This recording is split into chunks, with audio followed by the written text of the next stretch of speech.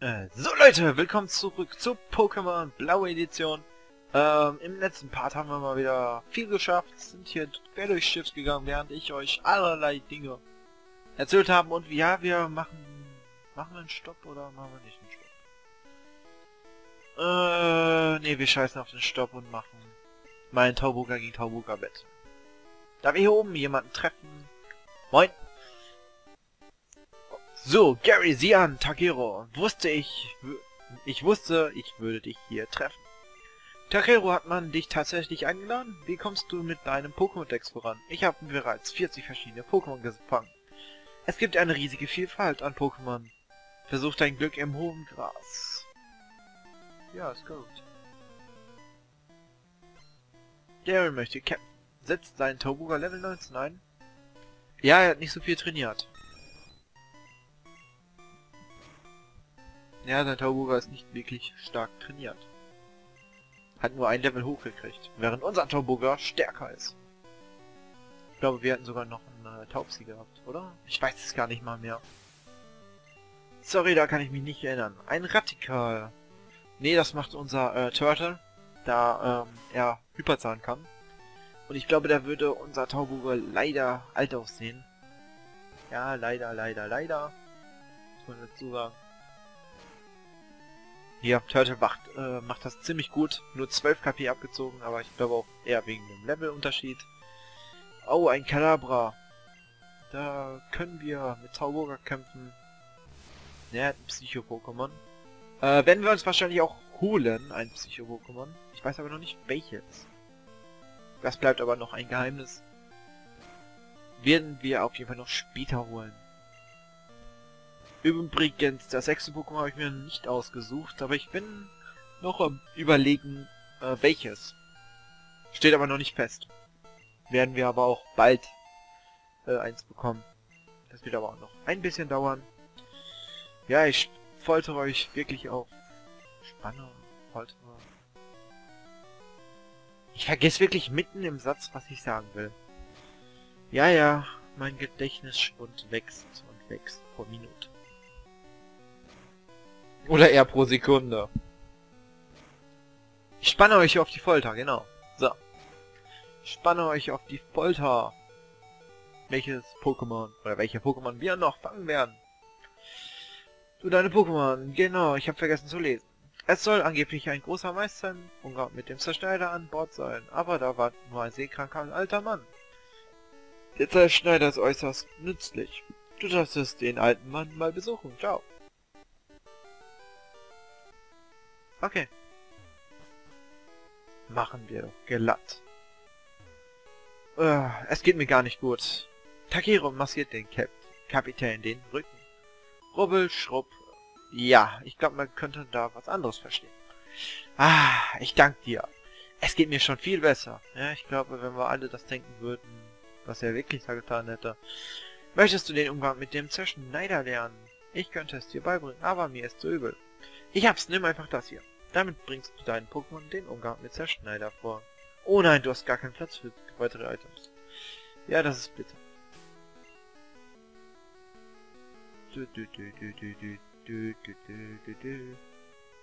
Was haben wir denn hier noch alles, was wir nicht brauchen?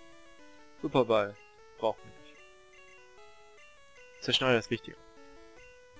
Deswegen schrubbeln wir den Kollegen nochmal. Rubbel und schrubb. Ja, wohl gemerkt. Was wird da schrubbeln?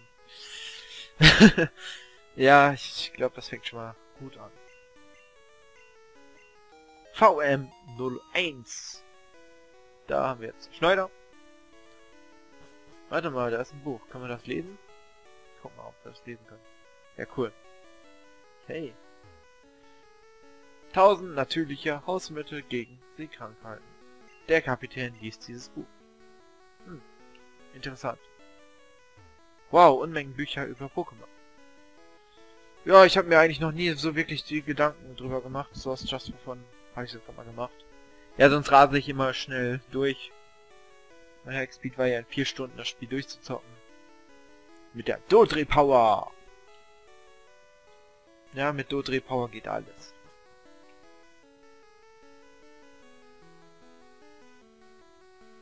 Ah, die Musik ist so schön. Schade, dass wir jetzt gehen müssen. Und das Schiff jetzt abhaut. Auf Wiedersehen.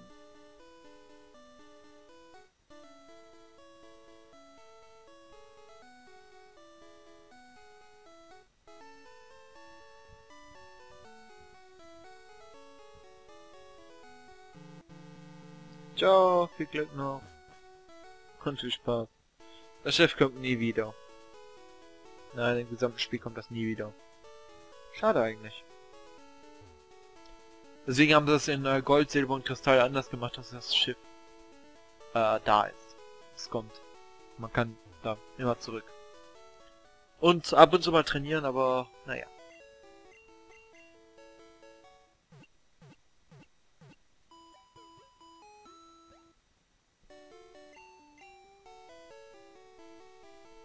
So, wem bringen wir jetzt Zerschneider bei? Das ist die große Frage. Ja, das ist jetzt wirklich eine ganz große Frage. ich weiß nicht, wem ich das beibringen soll. Hm, ich dachte eigentlich... Dickleiter könnte das lernen. Anscheinend äh, nichts.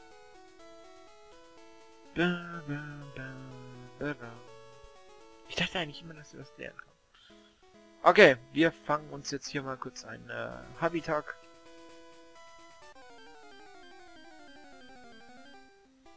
Oder ein Sandan, das wäre auch nice. Würde auch dementsprechend, was wir gebrauchen könnten. Ja, das überlebst du. Du, du, du, du, Ja, super. Sandan kann das lernen.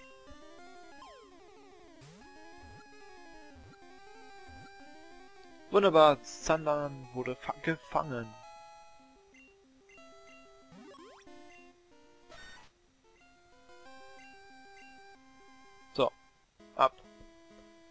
Wir hauen wieder ab. Du, du, du, bam, bam, bam. So, du lernst Zerschneider weil ich es sage. Ja, wohl bemerkt.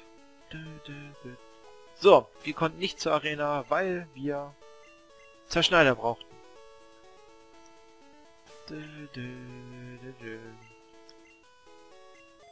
So, und jetzt brauchen wir nur noch Dickter. Leider dauert diese Arena doch ein bisschen länger, aber leider nicht wegen den Trainern, sondern wegen den blöden Rätseln. Das ist wirklich so ein verdammtes Glück. Das ist so eine Glücksfrage, wie schnell man das schaffen kann. Beziehungsweise wie schnell man es findet. Wobei ich eigentlich immer Pech habe. Mit dem Finden. Ja, ich bin ein schon, schon großer Pechvogel. Das kann man dazu sagen. So, Dick da erreicht 26.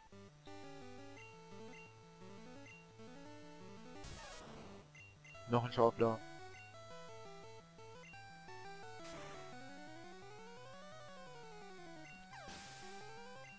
So, 369. Das war kein Problem. Oh, unser Dikter entwickelt sich schon. Ja. Dikta wurde zu Dictrü. Das Trio des Dicks. Könnte man unter anderem sagen. Ist mir vollkommen schnupperocker. Lass uns kämpfen. Habe ich zwar auch keinen Bock drauf, aber immer noch besser.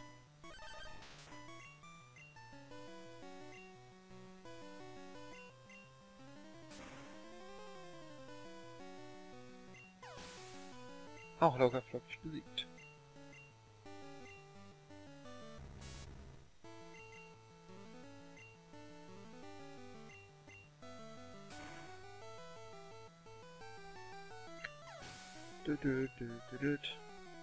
Auch kein Problem.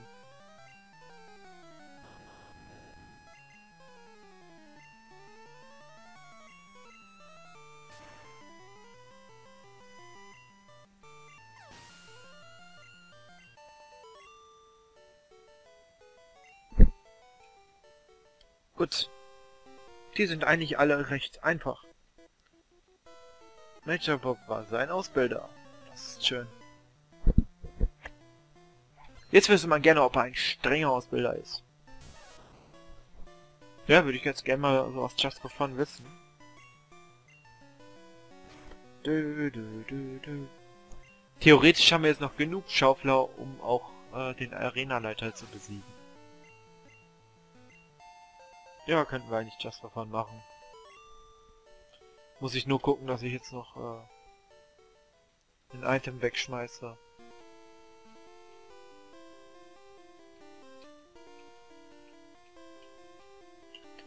Da brauchen wir nicht.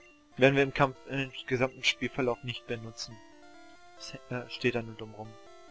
Ah, wenn wir gleich im Pokémon Center ist, mache ich meinen Beutel mal ein bisschen kleiner. So, wir müssen jetzt hier durchgehen, weil hier irgendwann ein Schalter auftauchen tut und dann äh, können wir Juhu schon schreien. Aber wir müssen auch noch einen zweiten finden, weil sonst geht diese blöde Tür da oben nicht auf. Und wenn die nicht aufgeht, dann können wir nicht zum Major Bob. Ja, und das könnte unter anderem sein. Nichts. Schade. Das ist die blöde Sache. Hier ist nur Abfall.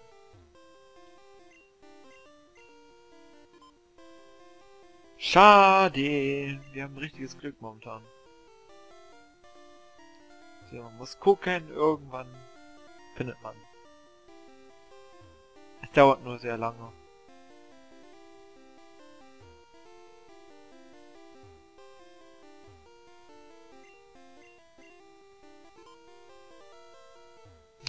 Wieder nicht. Das ist Glück. Yay, das zweite. Ja, muss man wirklich Glück haben, dass man das schafft.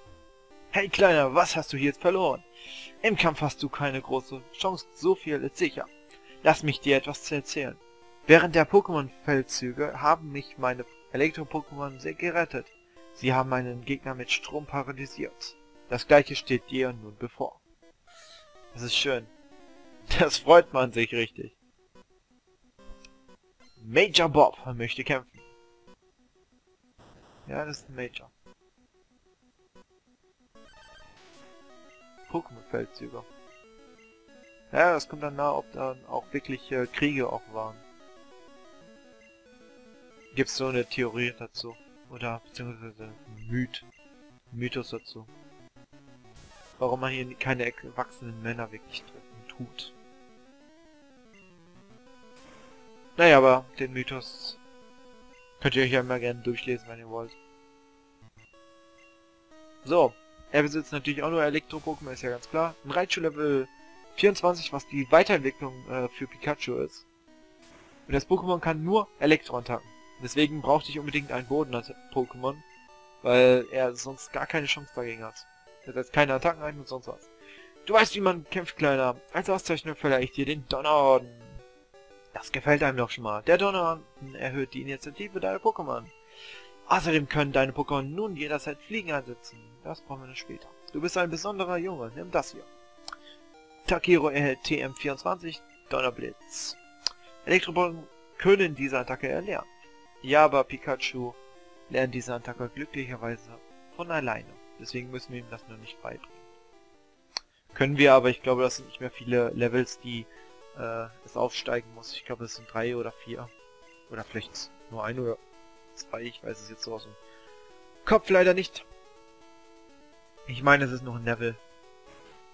Ein oder zwei Levels müssten es noch sein. So, deine Pokémon werden wieder geheilt. Das freut einen doch.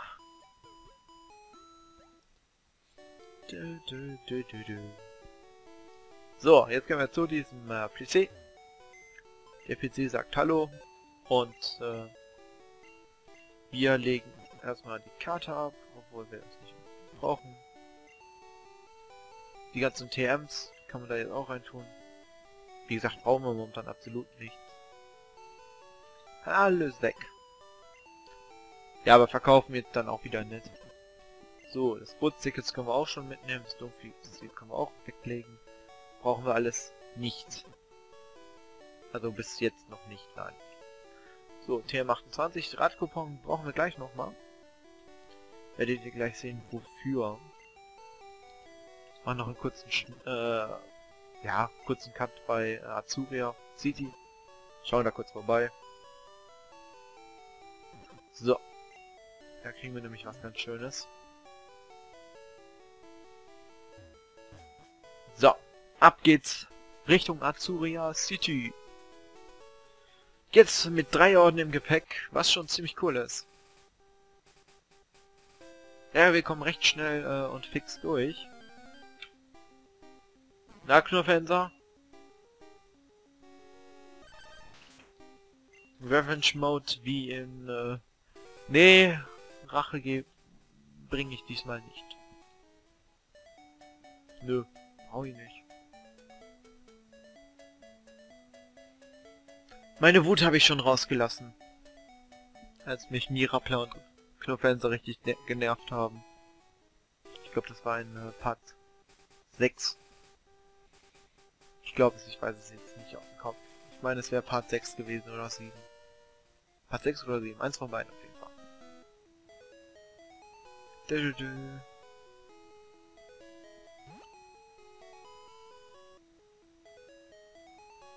Ja gut, die Musik ist jetzt nicht so äh, cool. So, wir gehen hier in diesem Fahrradladen. Mein Kollege. Da ist ein. Okay. Deswegen gehört mir jetzt das Fahrrad. Das gefällt mir doch nochmal.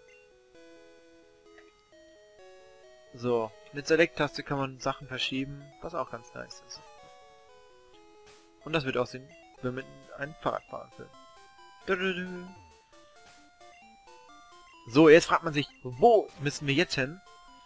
Äh, einfach. Wir müssen jetzt hier rechts rein.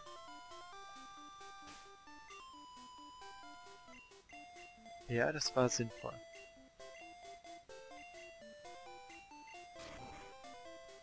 Geht viel, viel schneller, wenn wir mit dem Fahrrad durchfahren.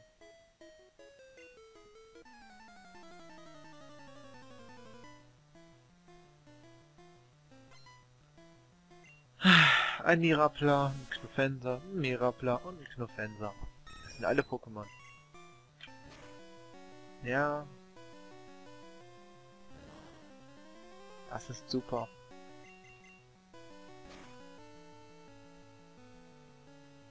Und Giftpuder. Auch super. Ich bin begeistert. Mein Pokémon jetzt schon vergiftet, ey.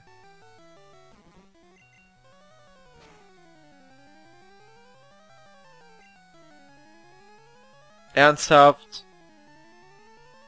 Eine Taktik für Fortgeschrittene ist da schon. Sowas beherrschen die. Ja, ist jetzt wirklich ein Boden-Pokémon gegen ein Pflanzen-Pokémon ein. Und mir geht's gut. Nur so, um äh, den Gedanken über mein psychisches Verhalten zu sagen, ne? Ach, Just for Fun jetzt. Ähm, wen nehmen wir jetzt? Tauboga. Äh, Sandern haben wir jetzt nur so lange im Team, äh, solange wir den äh, Zerschneider brauchen. Das heißt, der ist bald weg.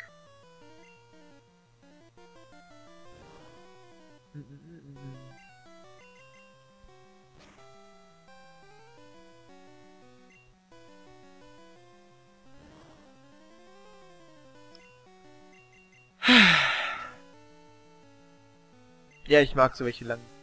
So welche Kämpfe, wo es länger dauert, nicht so. Das ist die blöde Sache, Tauburger besitzt noch nicht so gute Attacken. Hat zwar einen Vorteil gegenüber des Typs, aber halt keine Typattacken. Jetzt setzen sie schon wieder Wickel ein.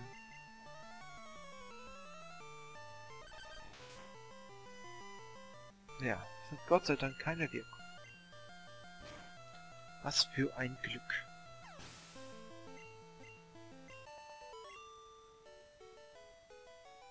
Naja, wir sehen uns im nächsten Part von Pokémon Part von Blow wieder. Bis dann und haut raus. Ciao.